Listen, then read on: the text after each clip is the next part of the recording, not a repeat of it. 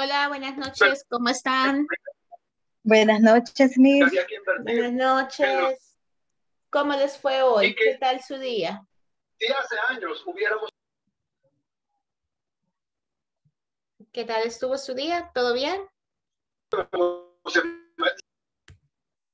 Ok.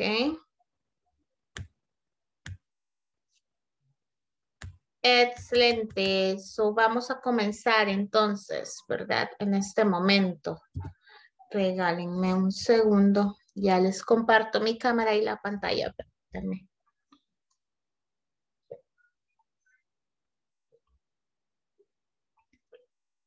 Okay. Thank you very much. Where did we stop yesterday? ¿Dónde nos paramos ayer?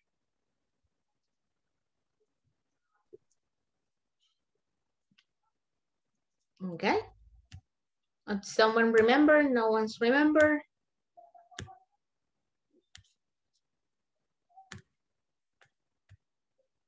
All right.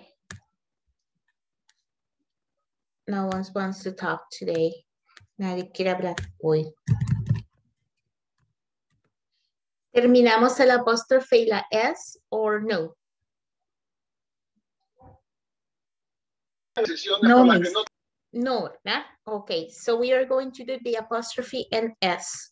I'm going to take the attendance in a couple of seconds. Okay. Let me share my screen and let me know if you're able to see it. Me dejan saber si la pueden ver. Yes. Yes? Good. So if you have it, that's all wonderful. So here we have the apostrophe in is, right? What we were studying uh, yesterday a little bit. So we ended up this column. Let's go ahead and do it this one. Terminamos la columna pues izquierda. Vamos con la derecha en este caso. Let's see, uh, plural nouns ending in S, right? If you have a plural noun ending in S, you're just going to add the apostrophe. Si usted tiene un nombre plural ah, terminado en S, ¿verdad? Como los plurales que ya conocemos, los regulares en este caso, usted le va a agregar solamente el apóstrofe, ¿verdad? Para poder hacer la posesión, ¿verdad? Del D. Eso pasaría solamente con plurals ending in S, con los plurales que ya están terminados en S. Let's see, uh, plural nouns not ending in S. Los nombres plurales no terminados en S. Which ones are the ones that doesn't end up in S? ¿Cuáles son los que no terminan en S? ¿Alguien lo recuerda? Los plurales que no terminan en S.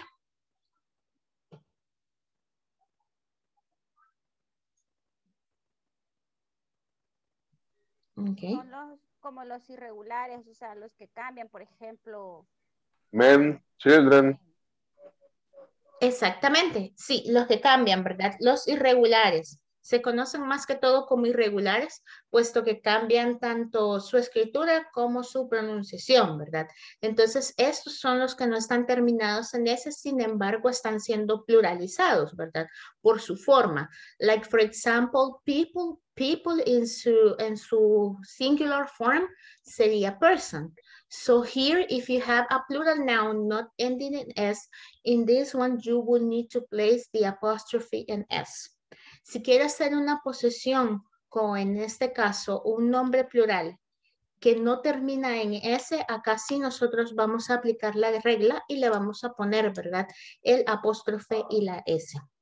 Then we got classical and religious names, right? Por ejemplo, en lo que son los clásicos y nombres religiosos, ¿verdad? Ending in S, we just only add the apostrophe and we don't add the S. En el caso de los nombres clásicos, nombres religiosos, ¿verdad? Like Jesus, como Jesús, nosotros pues no vamos a utilizar el apóstrofe y la S, sino que solamente para hacer eh, la, la posesión nosotros lo vamos a poner con apóstrofe si el nombre termina, ¿verdad? En lo que es una S. Nosotros tenemos Sófocles y Hércules, por ejemplo, ¿verdad? Sófocles en este caso es bastante conocido por ser clásico, ¿verdad? Clásico de la literatura y Hércules también es un, personaje, ¿verdad? De, literatura. que existió en, en, la época clásica. Entonces terminan en S. Esto solamente pues lo que hacemos es ponerles el apóstrofe sin agregarles otra S, ¿verdad? No como en James, por ejemplo, en Jaime, ¿verdad? Que teníamos nosotros el nombre anteriormente. Aquí sí, usted podía hacer la distinción y ambos estaban igual. Pero si es un nombre clásico religioso o se va a referir a algo religioso, porque yo sé que también hay muchas personas que se llaman Jesús como su nombre propio. Acá sí, si usted se va a referir a Jesús como el personaje religioso, si no le vaya a agregar la, la S, ¿verdad? Con el apóstrofe, solamente el apóstrofe, ¿verdad? Si se va a referir, si usted se refiere a un nombre, puede dejarlo tal cual, si fuera un nombre de, de lo que es este, una persona, ¿verdad? Natural, nosotros. Non, uh, a no noun after apostrophe. Puede que no haya en este caso un nombre después del apóstrofe, ¿verdad? Con respecto a la pregunta whose, ¿De quién? ¿Verdad? ¿De quién? En este caso, ese whose, ¿de quién? Entonces, yo puedo preguntar, whose cell phone is this? Whose cell phone is this? ¿De quién es este celular? ¿Verdad? Is Marta's. Is Marta's. Or it is Marta's, right? Es de Marta, en este caso. Es de Marta. Sin necesidad de volver a repetir la palabra. Porque acá con la pregunta whose nosotros ya estamos diciendo, ¿verdad? ¿De quién es esto? Este objeto en específico. Entonces usted al dar la respuesta, si conoce de quién es, si quiere decir es de esta persona, usted solamente dice it is, right? It is or it's Manuel's, Carlos, Juan's, right? Etc. So en ese caso ahí depende. Entonces este es el noun after the apostrophe. Es no hay ningún nombre después de lo que es el apóstrofe y la S o la posesión, ¿verdad? Que es a lo que estábamos acostumbrados, tener un nombre. Pero si es en este caso de esta pregunta, no hay necesidad de poner un nombre. Ya se sabe el objeto por el cual nosotros estamos preguntando. Valga la redundancia, dudas, preguntas acerca de esto. ¿Dudas, preguntas? Ok. ¿Dudas, preguntas? No questions? No question, teacher. Good. If there are no questions, so let's go ahead and continue, right? Vamos a continuar por acá. Let's see. Uh, we were talking about count and non-count nouns. Did we touch that yesterday? Tocamos eso ayer, si no me equivoco, no, ¿verdad? No lo tocamos. Los nombres contables y los no contables. No, ¿verdad? No. No hubo contables ni no contables. Ok. No. So for the non-count and count nouns, uh, we are going to have this uh, structure like in the dialogue. Do we need, right? Do we need? Necesitamos, ¿verdad? Necesitamos. We are going to have the words some and any. Vamos a tener de nueva cuenta las palabras some and any. And as well, we are going to use it either for count nouns and non-count nouns. Which are the nouns that we can count? ¿Cuáles son los nombres que podemos contar? Alguien que nos comente.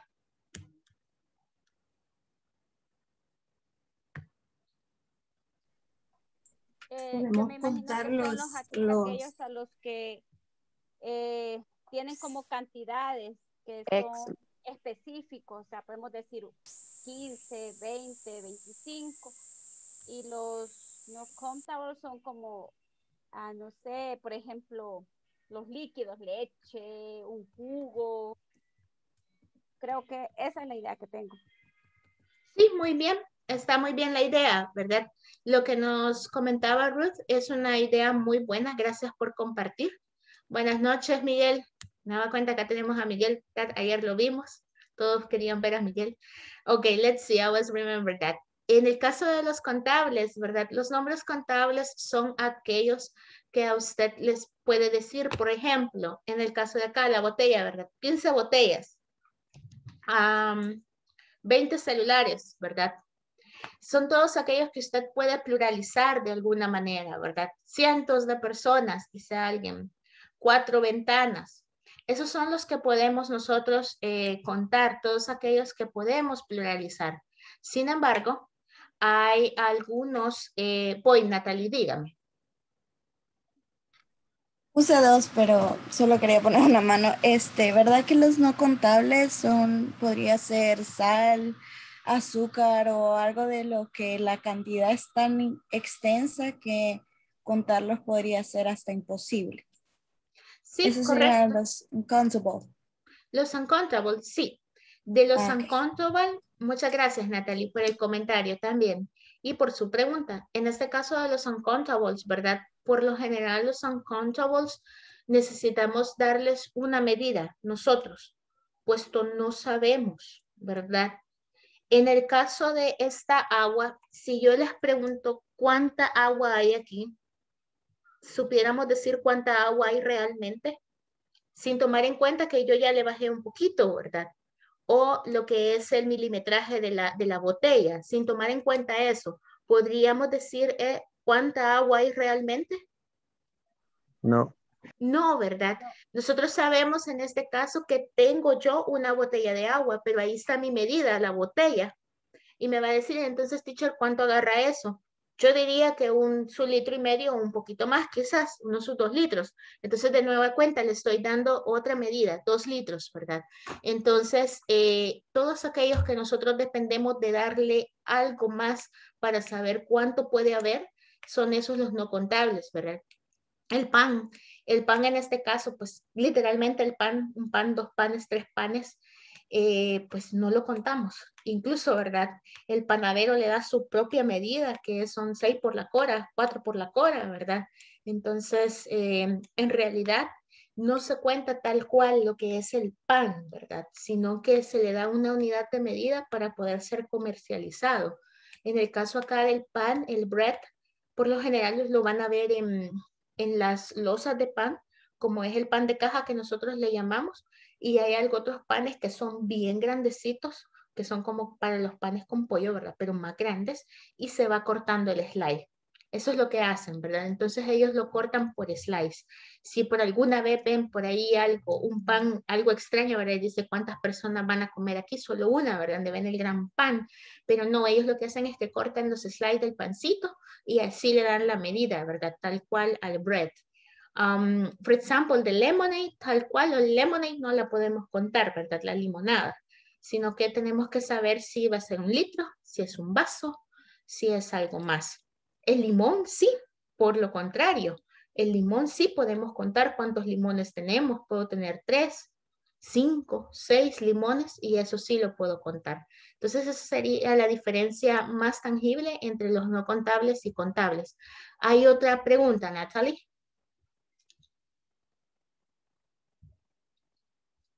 Natalie, ¿otra pregunta? ¿O no? Solo se quedó levantadita la mano. No, no me oye, Natalie. Probablemente pasó algo. Ok, questions so far up to here. Preguntas hasta acá. ¿Preguntas? ¿Preguntas? No me quedó muy claro en los panes. Para mí, eh, los panes sí podía contarlos porque cuando yo pido seis panes, me dicen, ah, es una cora. Sí, en este caso el pan, ¿verdad? Si lo vemos desde el punto de vista nosotros, eh, el panadero le da su unidad de medida, ¿verdad? Los seis pancitos o los, los pancitos que nosotros compramos por el dólar. En cambio acá el bread tal cual, ellos no lo miran como un contable, porque el bread no se puede contar, no puedo saber cuánto pan hay dentro de un pan, por decirlo así. Ellos lo miran así, cuánto pan dentro de un pan, ¿verdad? No se sabe, sino que ellos lo que hacen es dividirlo, ya sea por las loaf, que son en este caso el pan grandecito o el que nosotros le llamamos pan de caja, ellos le llaman loaf, o en este caso lo dividen por slice, si cortan cuántas slices hay en un pan, ¿verdad? Entonces, de esa manera eh, ellos lo hacen. Sí, acá yo le puedo decir, ¿verdad? Yo sé que el panadero me vende pues seis pancitos por, el, por la cora, ¿verdad? Por decirlo así. Hago 12 en el dólar, ¿verdad? Entonces, este, bueno, 24 en este caso, dependiendo cómo se lo vendan o dependiendo si es del pequeñito, del grande, ellos tienen sus medidas, ¿verdad? Pero eh, cuánto pan hay adentro de ese pan, no lo sé. Entonces ellos lo miran de esa manera. El pan, pues para ellos es un non-count noun, ¿verdad? En este caso. Si acá es un poquito debatible porque nosotros lo contamos o le damos esa unidad de medida al pan, ¿verdad? Le damos esa unidad de medida. Yo sé que ellos miden la, el pan o el pan que producen por medio de lo que son las latas, le llaman ellos, ¿verdad? Los panaderos, no sé si hay alguien aquí que sea panificador, ¿verdad? O que, o que tenga familia que sea panificadora. Este, lo miden por lo que son las latas. Entonces, ¿cuántas latas eh, cuántas latas y cuántos eh, bollitos de masa, porque son unos bollitos de masa y luego con la levadura crece, cuántos agarra y cuántos sacan por las latas. Entonces sé que así lo miden ellos, ¿verdad? Pero en realidad la harina que lo hace, la, cuánta harina contiene ese pan o el pan en sí, no es un contable. No se puede contar, ¿verdad? Por la cuestión de ser pan by itself. No sé, yo sé que es un poco complicado, ¿right? But, este, quería compartir algo. Yo en esa fora aprendí a hacer pan francés. Entonces uno al inicio lo hace con una medida, o sea, perdón, tiene una, algo para ir pesando, ¿verdad? Pero, perdón, quizás luego esto se refiere a que cuando ya uno ya puede, lo va haciendo al tanteo, ya no lleva un peso exacto. Ya no lleva un peso exacto, pero igual, ¿verdad? La harina, la harina ustedes le dan una medida, ¿verdad? Ustedes le dan una medida a la harina, más la sal, más la levadura, ¿verdad? O sea, termina al final como un peso al tanteo. O sea, se sacan 20 panes, pero no llevan el mismo peso. Pero no todos son iguales en sí, ¿verdad? Correcto, el pan. Ah, ok. Muchas gracias. Ahora sí lo ven, no hay como alguien que sepa el trabajo, ¿verdad? De alguien que pues solamente ha escuchado o se imagina de lo que es. Y ella tiene razón, no podemos saber y no los mismos no tienen pues el mismo peso como ella nos comenta. Entonces es a eso, ¿verdad? Vamos a eso, el pan en sí, la harina en sí, pues el pan tal cual, no podemos decir, eh, aquí hay un pan, dos panes, tres panes, a nosotros no suena lógico, pero créame que no, no, es, no es así, ¿verdad? Es en el caso de la harina como ella nos comentaba. No todos pesan lo mismo, no todos ya llevan la medida igual, sino que pues ahí se agarra un pochito, un pochito y en todo eso se pierde, me imagino, ¿verdad? Cada uno pierde su poquito de algo. Así que ahí tenemos el pan. Si usted lo quiere ver así, véalo como una excepción a todo lo que nosotros conocemos, el pan, ¿verdad? En inglés, no contable para que no, no sea tan, tan tedioso, ¿verdad? Hacerlo así. El pan en inglés no contable, ¿verdad? Pan en inglés no contable. Lo puede ver de esa manera para que no sea demasiado confuso. Question so far. Gracias, Ulma, por la participación y por explicarnos un poco acerca de lo que es la panificación. You're welcome. Thank you. Let's see. Questions so far? ¿Preguntas? mis estimados, preguntas, no questions. Todo good. Ok. ¿Estamos bien? ¿Sí? ¿No? Aquí tengo algo en el chat. Muy bien. Alguien me dice que no. Ok. Pues acá tenía yo una práctica que ya la vamos a hacer. Muy bien. Vamos a irnos un poquito a some y any, ¿verdad? A some y any en este caso. Alguien que me haga el favor de leer some, ya sea para el positive y la question. Some para el positive y la question.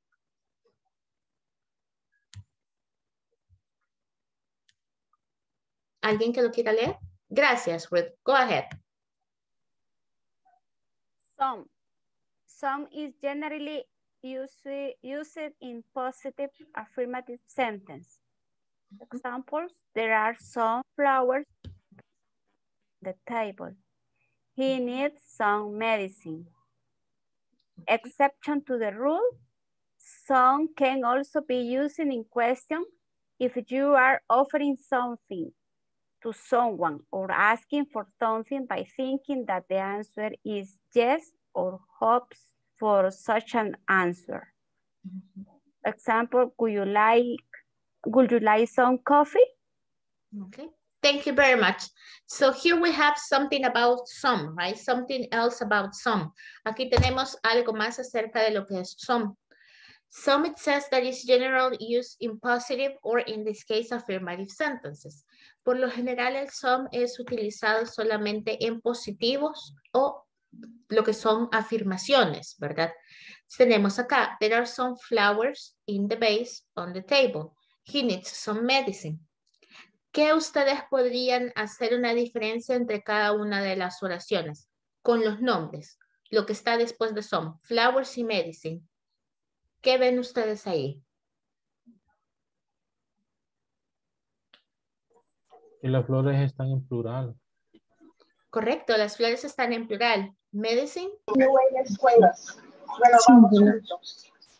Medicine está en singular, pero medicine es un contable o un no contable.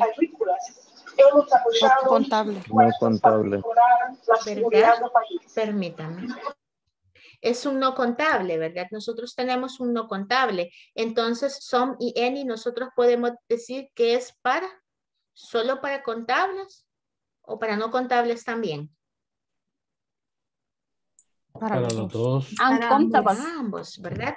Nosotros podemos utilizar ambos, siempre y cuando nuestra oración sea ¿qué? Positiva positiva, ¿verdad? Positiva. Siempre y cuando su oración sea positiva, usted la puede utilizar some o any, ¿verdad? Tenemos una excepción a la regla. Dice acá, nosotros vimos en la slide anterior que se puede utilizar para tres cosas. Y usted lo puede utilizar para preguntar. Acá nos dice que cuando usted está ofreciendo algo y utiliza some, usted espera que la persona a la que le está ofreciendo esto, o en este caso café, ¿verdad? espera que la persona le diga sí, ¿verdad? Cuando usted utiliza son para ofrecer algo, en este caso, una bebida, alguna comida o algo más, usted espera que la respuesta sea un sí. O espera una afirmación de parte de la persona, ¿verdad? Que en este caso, si a la persona tal vez no le gusta o quizás nunca lo ha probado, usted espera que le diga que sí, que desea probarlo. Entonces, esa sería una de las excepciones a, las tantas reglas que hay.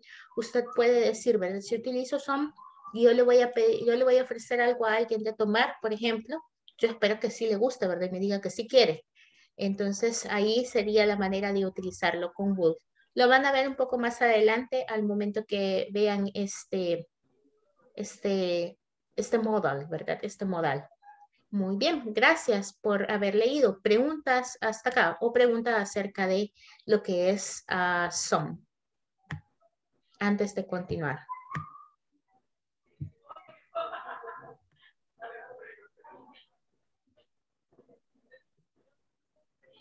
¿Preguntas antes de continuar?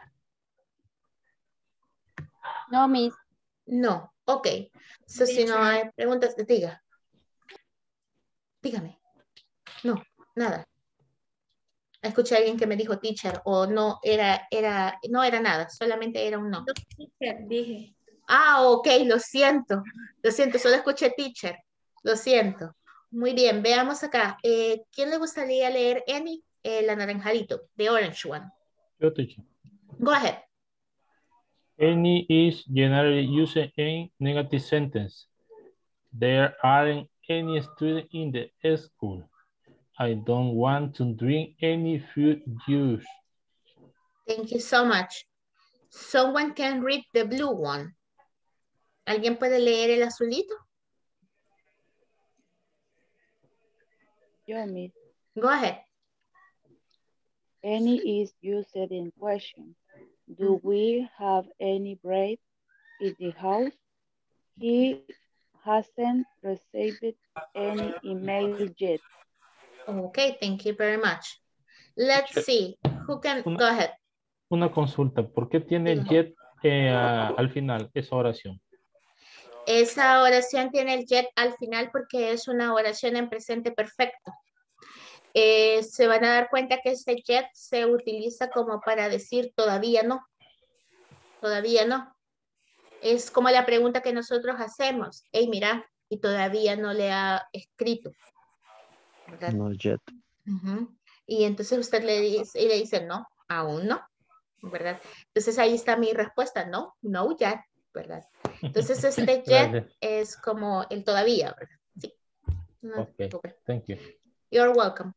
Lo van a ver un poquito más adelante cuando vean el, um, ¿cómo se llama eso? El perfecto, ¿verdad? El presente perfecto.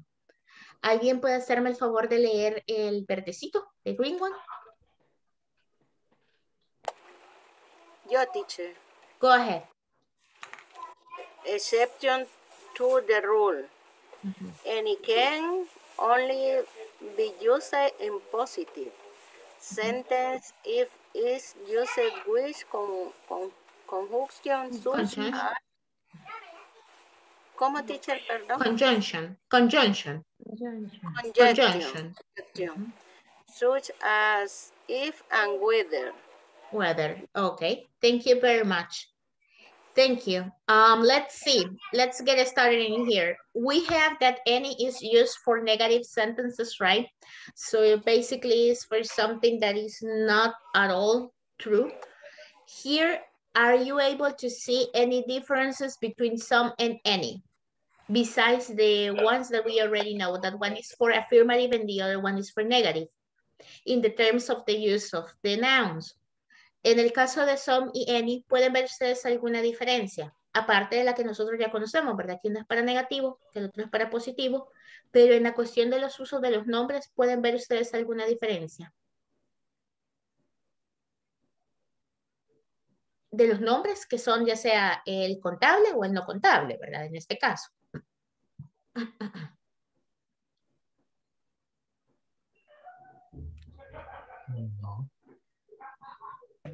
Que es negativo y el otro es contable. No, teacher, no, entiendo la pregunta porque no descifro lo que quiere demostrar en la... Ok, en el uso de los plurales, de los nombres plurales, ¿verdad? Ya sea que si es contable o no contable, en some y any, ¿ustedes ven alguna diferencia con el uso? Si es contable o no contable, yo puedo utilizar any o puedo utilizar some o hay alguna, alguna manera de, en este caso, de que sea diferente? Ruth, puede utilizar cualquiera. Yo, yo lo que veo es que, o sea, se usan en, en ambos, con countables y uncountables. Lo único que el SOM es para cuando vamos a dar una respuesta o una oración afirmativa y el N es cuando la oración va en negativo. Correcto, muy bien, gracias. Eso es, ¿verdad? Este, Edith, ¿me iba a decir algo? Lo mismo que dijo ella. Oh, lo mismo, entonces estaban sincronizadas, ¿verdad? Ajá. Estaban un poquito sincronizadas. Discúlpenme si apagué la cámara un ratito, ¿verdad? Me acomodé. Entonces, para que no vieran el gran acomodo ahí, ¿verdad? Um, let's see, some y any, ¿verdad? En este caso de some y any, lo importante a recordar acá es que uno es afirmativo y el otro es negativo. Por lo tanto, cuando nosotros estemos utilizando ya sea un nombre contable o no contable, usted puede utilizar cualquiera de los dos, ya sea any o some. Acá su distinción va a ser lo que usted quiera expresar con ellos, ¿verdad? Si usted quiere decir que sí hay, en el caso no sabemos cuántos porque definitivamente no sabemos la cantidad de ellos, pero que sí hay, usted en este caso dice son. Si usted quiere decir que para nada hay o que probablemente hayan, pero no la cantidad esperada, entonces nosotros decimos acá, pues any, ¿verdad? Entonces ahí pues eh, depende de lo que usted me quiera expresar o quiere expresarle a la persona o depende de lo que le están preguntando. En el caso de any, ¿verdad? Dice que puede ser utilizado para lo que son preguntas. De igual manera, do we have or do we need? Usted puede utilizar cualquiera de esas dos en cuestión de alimentos, ¿verdad? Acá usted puede utilizar some y any en diferentes maneras. Nosotros lo estamos viendo con alimentos, pero eso no significa que no lo pueda utilizar en cualquier otro ámbito. Entonces nosotros decimos, do we have, do we need? Do we have any bread in the house? ¿verdad? Cuando nosotros nos preguntan o andamos en el supermercado y por algún motivo no lleva usted la lista, usted le dice al, con el que anda o la persona que anda y tenemos pan en la casa y mira, hay huevos en la casa. Y hay jamón en la casa, ¿verdad? Do we have any? Do we have any? Por si no estamos seguros. Si la persona que está con nosotros está segura que sí hay, le puede decir, there are some bread in the house. Or there is some bread in the house. there are some soaps in the house, ¿verdad? Hay algunos jabones en la casa. ¿Cuántos hay?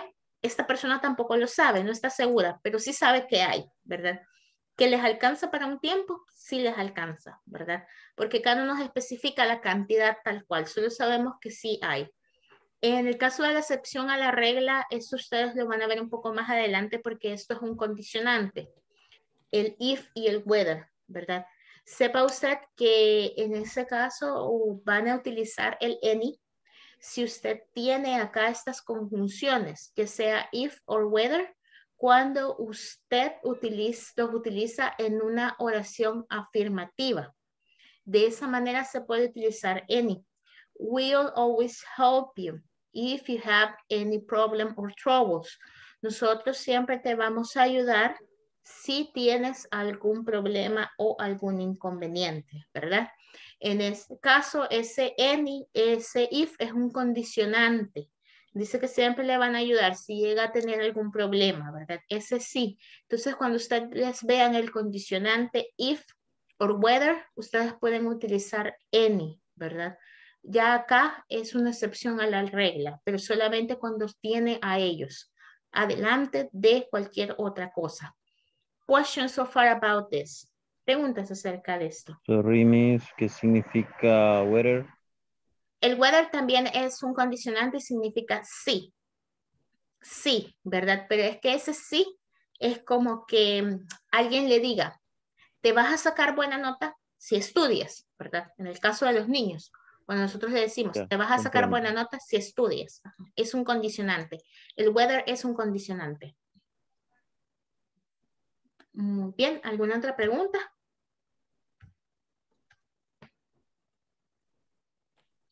¿Preguntas? ¿No questions? ¿Todo bien?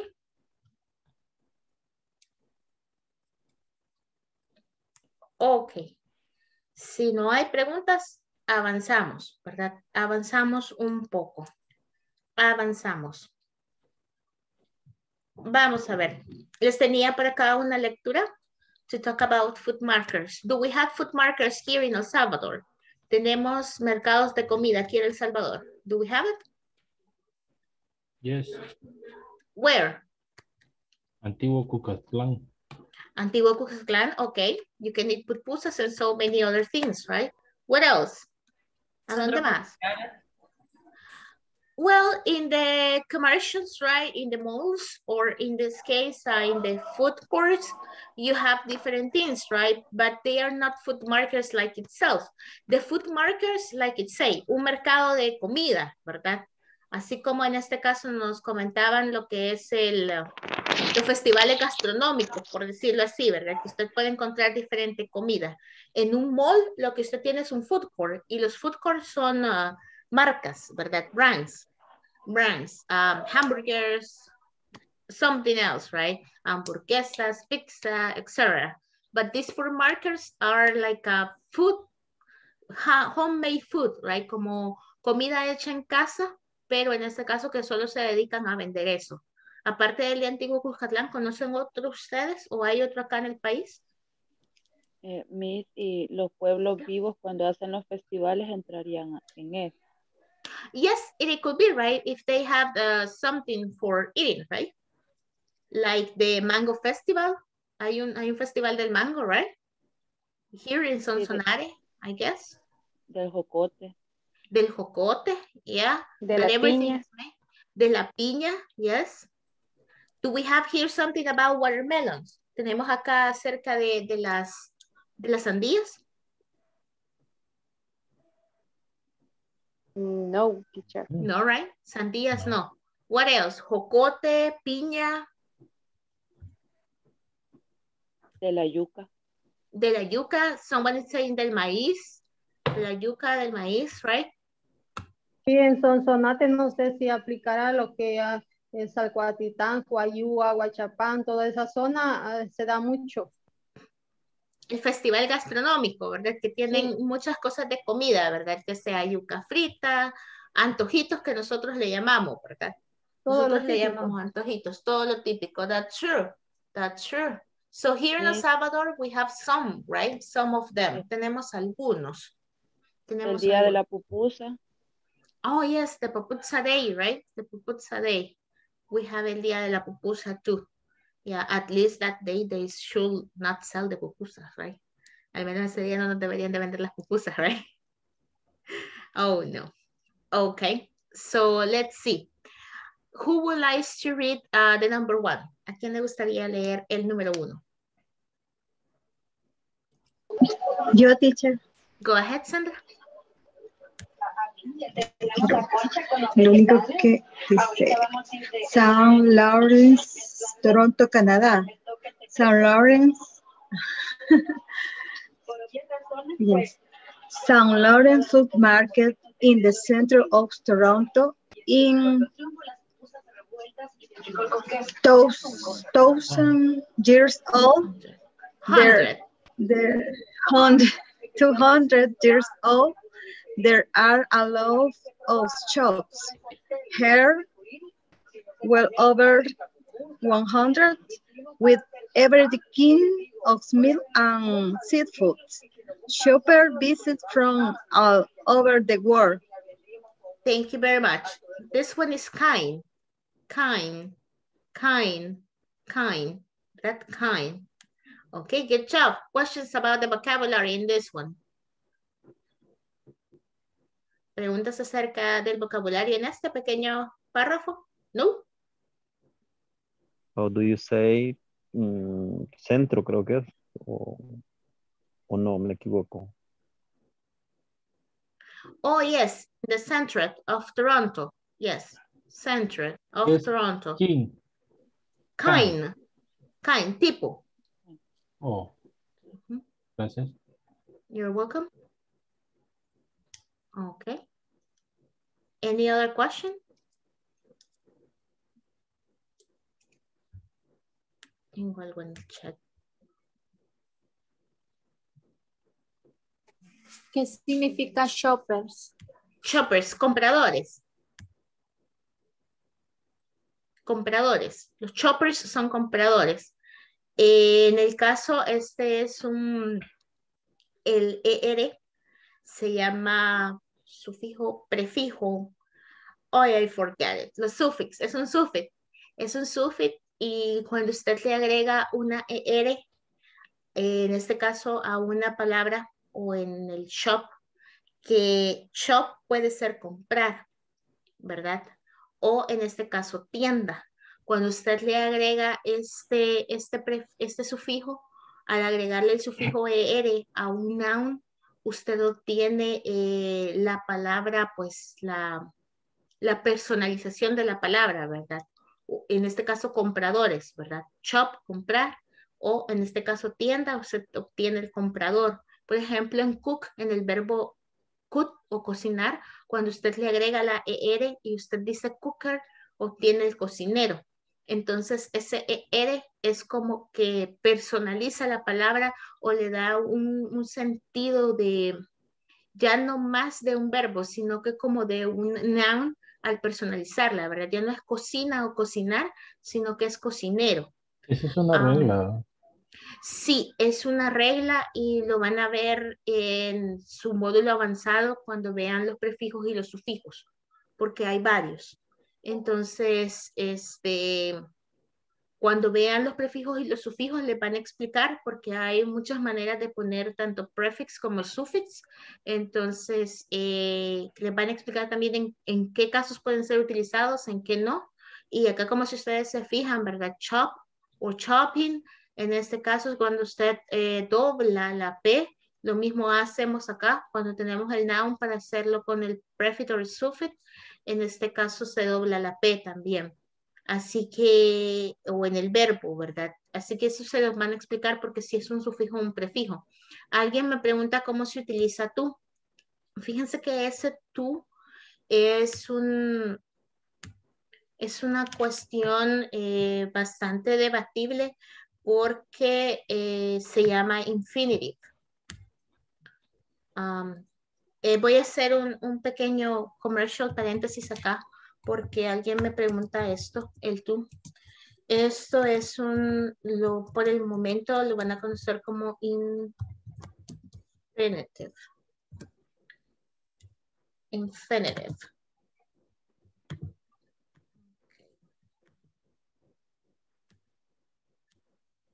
Así está bien. Infinitive. No me lo está tomando este cosito.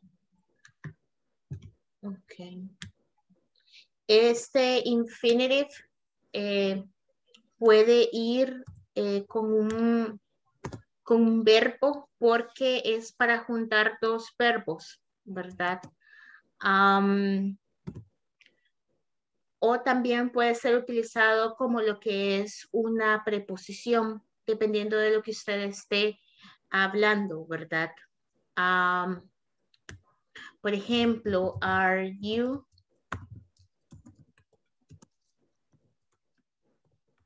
going to call me? Me vas a llamar. Me vas a llamar. ¿verdad? Me vas a llamar. Are you going to call me? El going es un verbo. El call es otro verbo. Entonces, al infinitivo, cuando se tiene un to, es para unir dos verbos.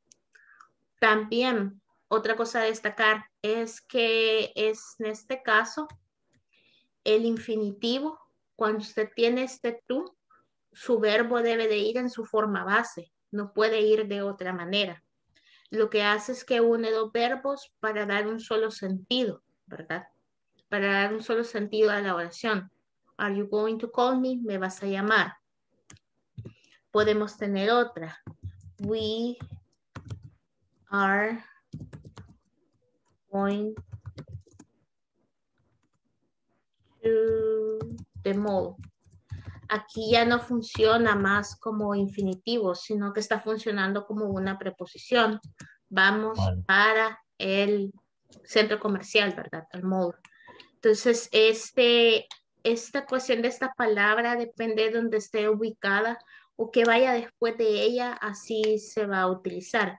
Si después de ella va un verbo, tenemos que ser utilizado como infinitive. Si después de ella va un noun, entonces es una preposición. Una preposición del lugar, diga.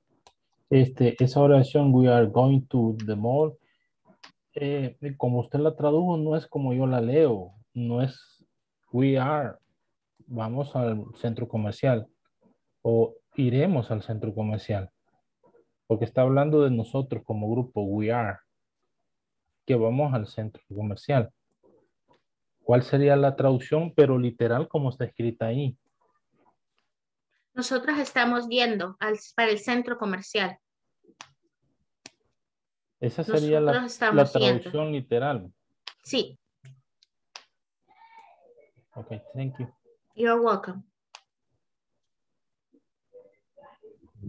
Este sería el uso de, de tú, ¿verdad? Eh, en el caso...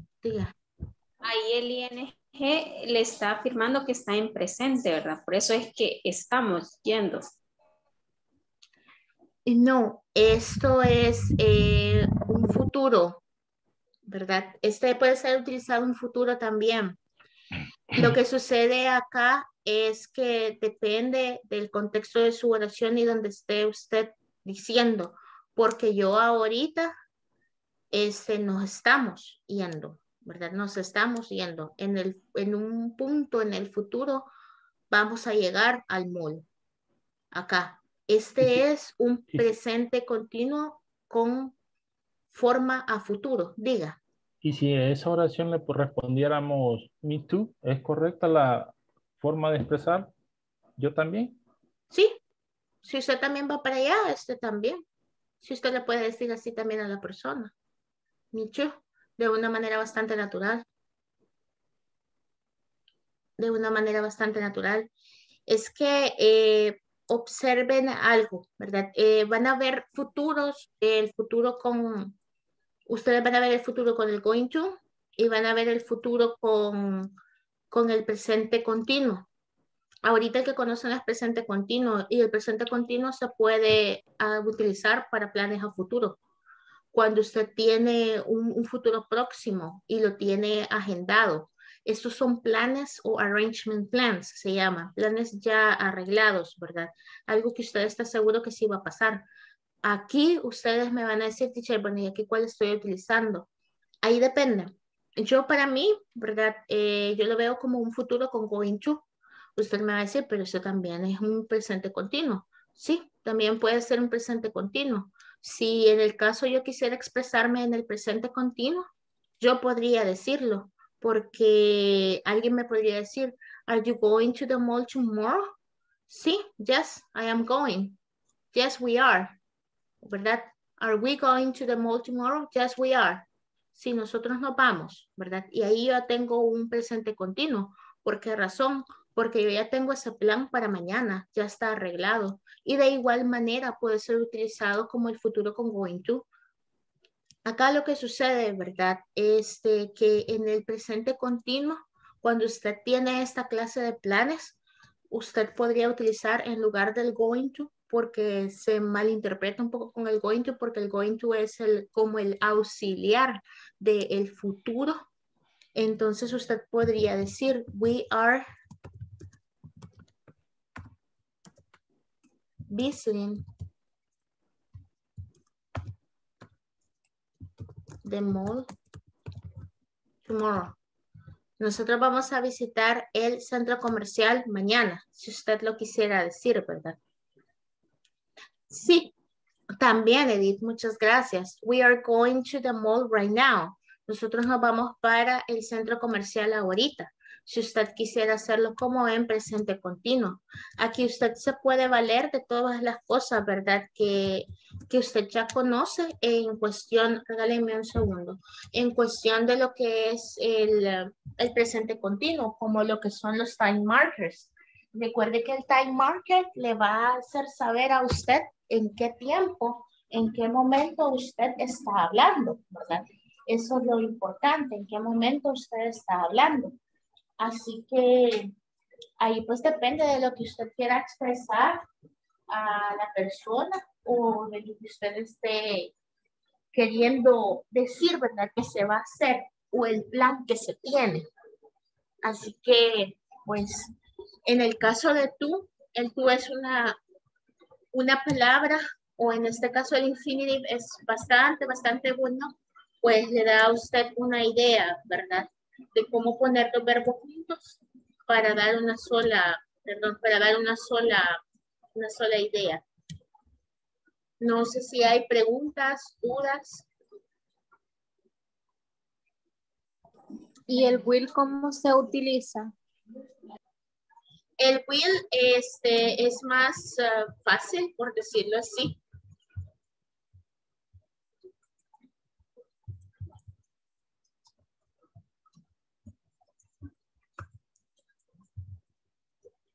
Y acá tenemos un ejemplo. We will visit the mall tomorrow.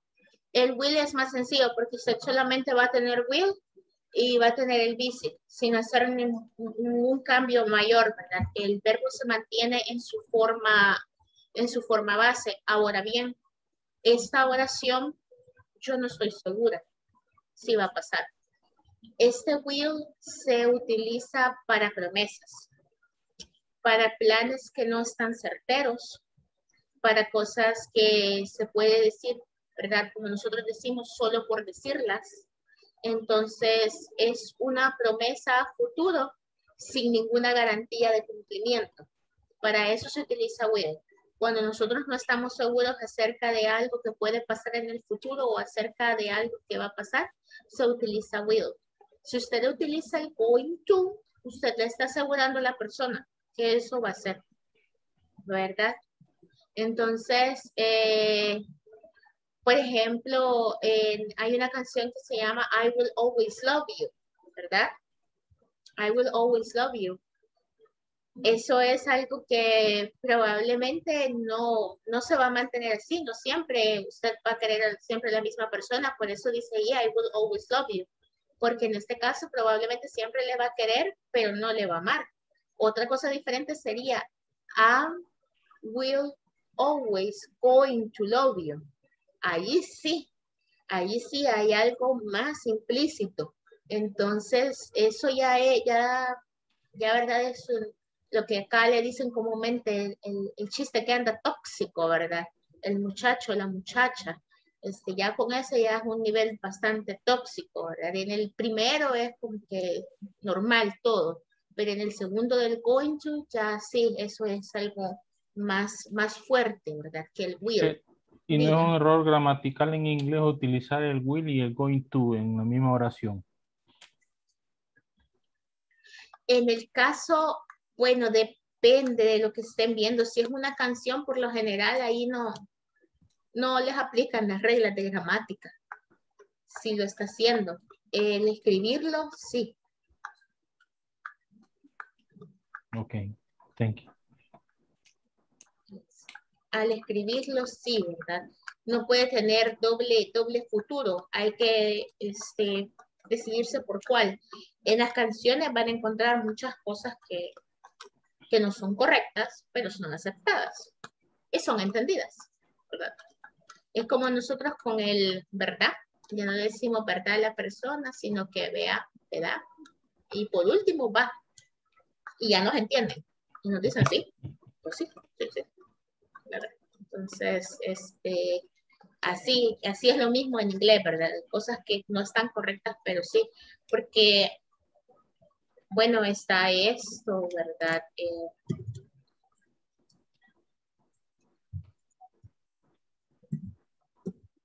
esta cuestión, ¿verdad? El I am, que es esta, esto de I'm not.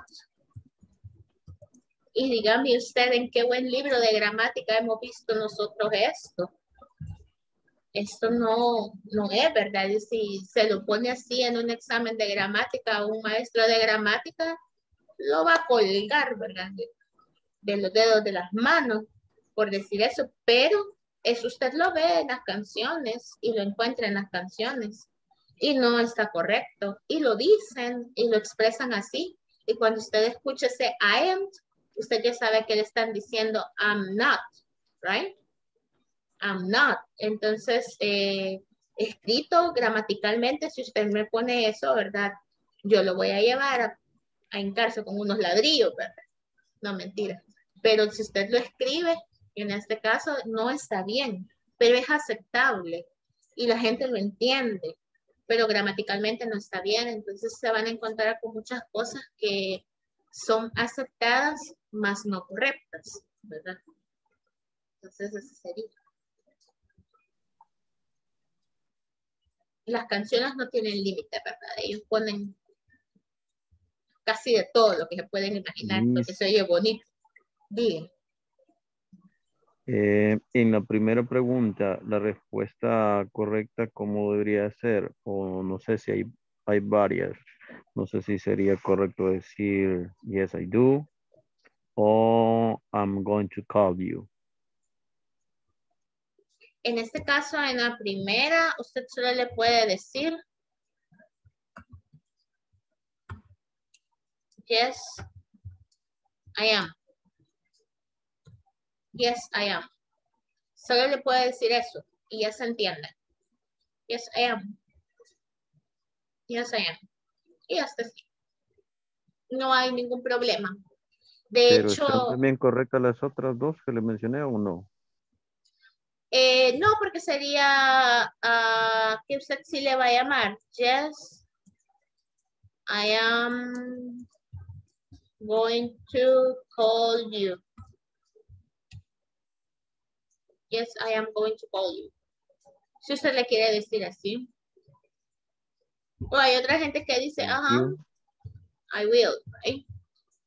Incluso aquí usted le puede decir, yes, I will.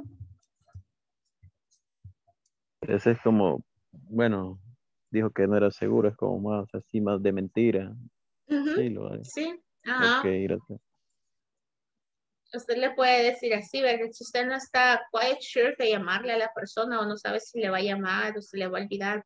Teacher, eh, eh, agregándole el duda a ese, a you coming, yes, I la respuesta en español literaria no es sí lo soy. No le encuentro sentido a la respuesta. Sí, en el caso acá, ¿verdad? La respuesta corta, por lo general en las respuestas cortas, cuando usted tiene el going to, porque usted utiliza el verbo be como un verbo auxiliar, usted solamente le dice yes, I am, sí lo voy a hacer. Esto acá es como que le está diciendo sí lo voy a hacer, pero ya no se traduce sí yo estoy o sí yo soy, ¿verdad? Acá ya no lo going to. porque estamos hablando del going to. Entonces acá cuando le dice, are you going to call me? Yes, I am. Sí lo voy a hacer. Eso es lo que le está diciendo, ¿verdad? Yes, I am. O si usted se siente más cómodo y le quiere decir, yes, I am going to call you, lo puede hacer así.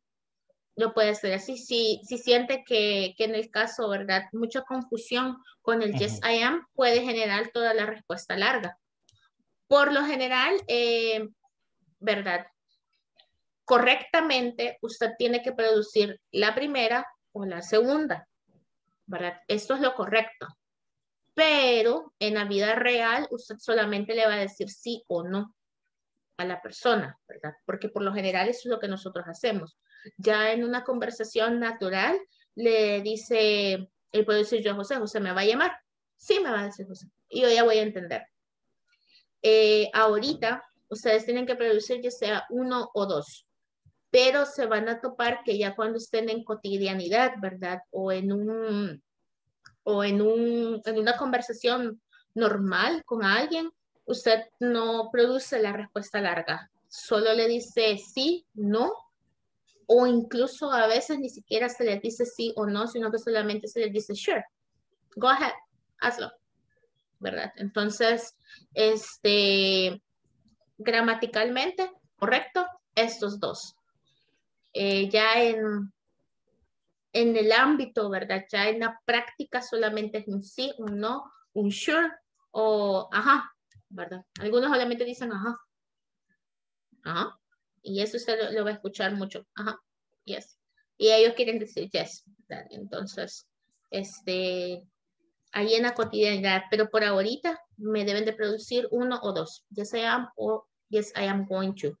Pero esto no significa sí yo soy o yo soy, sino que aquí es sí lo haré, ¿verdad? Eso no quiere decir, si ya lo queremos traducir, sí lo haré, ¿verdad? Sí lo haré.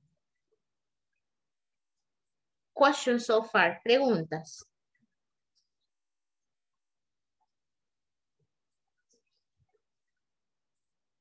No question. No questions. Okay. Okay.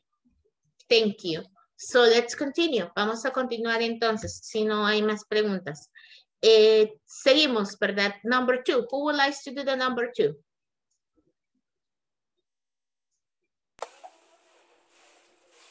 Go ahead, Ruth. Go ahead, Ruth. Por Dios, si ya falta un minuto.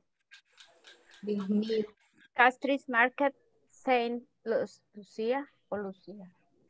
Lucia. Naturally, this, uh, this island in the Caribbean has a market, market, famous for fish and fruit. Buy some bananas for lunch and some fish for dinner. And try the local sauces. It's very hot. Okay. South, sauce. It's the south, sauce. Que salsa, ¿verdad? Es salsa. Ah, sausages is uh, salchichas. Las salchichas. Sí, de sausages son salchichas. Gracias, alguien me escribió ahí que faltaban dos minutos, por Dios, y ya son las 10 de la noche, que rápido se nos ha ido la hora. Eh, voy a parar acá, voy a parar de compartir, ¿verdad? En esta parte de acá. Eh, mañana vamos a seguir, les voy a pedir que sean tan amables de, si pueden leer esta parte, eh, léanla y hagan un pequeño párrafo acerca de lo que nosotros tenemos acá en El Salvador, ¿verdad? Si ustedes pueden. Salud a los que están, a, alguien destornado, salud. Este, a los que pueden, y no es una tarea, ¿verdad? Solamente para que pues podamos tener una pequeña práctica. Les voy a pasar la lista, muchachos, perdónenme. Yo la verdad no me había fijado qué horas eran y, y nadie me avisa. Solo vi que me pusieron dos minutos cuando ya faltaba uno. Sigamos otra media hora, otra media hora. Sería bueno, ¿verdad? Tener más tiempo es importante. Creo que siempre nos quedamos como que cortito, ¿verdad? De alguna u otra manera, pero bueno, algún día, algún día. Vamos a ver. Este, así rapidito, Ana Yadet. Dagna Lisset. Presente. Gracias. Edilia Roxana. Edith Janet. Present. Muchas gracias. Stephanie Priscila. Present, Miss. Muchas gracias. Lili, por aquí está. Carla Alejandrina también la vi. Sí, ¿verdad? Catherine Stephanie. Gracias. Catherine Stephanie. Catherine Tatiana. Present. Muchas gracias. Tengo a Luis, por acá lo acabo de ver. María Elena. Aquí está María Elena. María Margarita también la puedo ver. Gracias. Gracias, Caterina. Acá por acá la vi. María Verónica también la veo. Miguel Ángel. Present. Muchas gracias. Eh, Ana Janet, muchas gracias, Ana. También aquí la veo. Eh, quiero ver, ver, Modesto Antonio, por acá lo vi. Nancy. Present. Nancy Judith, thank you. Nancy Milagro. Present, present, teacher. Thank you. Natalie Michelle, aquí está. Marceli, aquí está. Gracias. Rubén de Jesús. Presente. Gracias. Rubia. Presente. Gracias. Ruth Elizabeth. Aquí está. Ruth Milagro present. también. Gracias. Sandra Patricia, acá la veo. Present. Muchas gracias. Stephanie Natalie también. Azulma también. Susana también aquí la veo. William también. Chancy. Chancy Carolina. Present. Gracias. Eh, Chancy Astrid. También. Presente, teacher. Gracias. Y José Bismar, acá está. Muchas gracias. ¿No mencioné a alguien? ¿Me faltó alguien? ¿No? ¿Sí? ¿No? ¿No? Ok, si no me faltó nadie, les agradezco mucho su presencia por acá. Disculpen, no me había fijado que ya eran las 10 de la noche, ¿verdad? Nos faltaba un minuto. Continuamos mañana. Si pueden ustedes, ¿verdad? Hagan su pequeño párrafo acerca de acá, describiendo un mercado de comida o alguna comida cerca de su casa, ¿verdad? Que sea agradable el lugar. Y pues nos vemos mañana en la misma hora. Have a great night. Take care. Cuídense. Good night. Good night. Bye bye. Good night. Good night. Bye bye. Good night, guys.